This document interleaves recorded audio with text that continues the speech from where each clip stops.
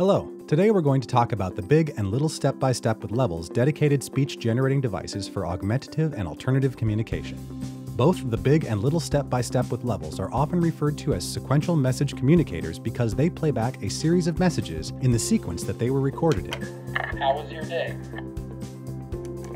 My day was wonderful. How was your day? Sequential messages can be used in reading a story, counting, asking a series of questions, participating in a conversation, and more. Every classroom and resource center should have a big or little step-by-step with levels in their toolkit. While both of these communication devices look different, a majority of the features and functionality are the same. The main difference between the big and little step-by-step with levels is the size of the activation surface. The big step-by-step with levels features a large 5-inch activation surface, while the little step-by-step with levels features a smaller 2.5-inch activation surface. Both devices include four colored switch caps that can easily be changed to meet the needs of the user. A clear snap cap that attaches to the colored switch top is included and is used to attach a picture symbol to the device to help reinforce what will be said when the switch top is activated. A 3.5mm 1 8 inch switch input jack and toy appliance output jack are included on both devices. Lastly, both devices feature three recording levels. These levels enable you to record three separate sets of messages with a total record time of 4 minutes to the device and then use them as they are needed throughout the day. Setup of the big and little step-by-step with levels is easy. Before getting started, insert a 9-volt battery into your device. The battery door is found on the bottom of the device. Once the battery is installed, you are ready to begin recording your sequence of messages. To start the recording process, select the level you would like to record to.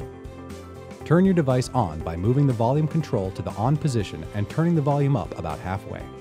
Press and hold the record button until the red record light turns on, then release the record button. Press and hold the switch top down until you hear a beep and talk into the device to record your message, and repeat to record more messages. When you are done recording, press the record button again to exit record mode. How was your day? My day was great. Now that you have your sequence of messages recorded, you can change the color of the switch top, add a picture symbol, or attach an external switch to meet the accessibility requirements of the user. If you would like to activate a switch-adapted toy or appliance when a message is played, there is one additional step that needs to be completed during the message recording process. After you have recorded a message, continue to hold down the switch top on the device and quickly tap the record button. This will program the device to activate the toy appliance output jack when the message is How was your played. You can assign the activation of the toy appliance output jack to one message or multiple messages on the device.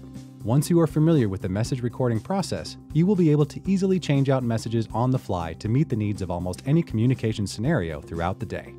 To learn more about big or little step-by-step with levels from AbleNet or our entire line of products, visit us at www.ablenetinc.com.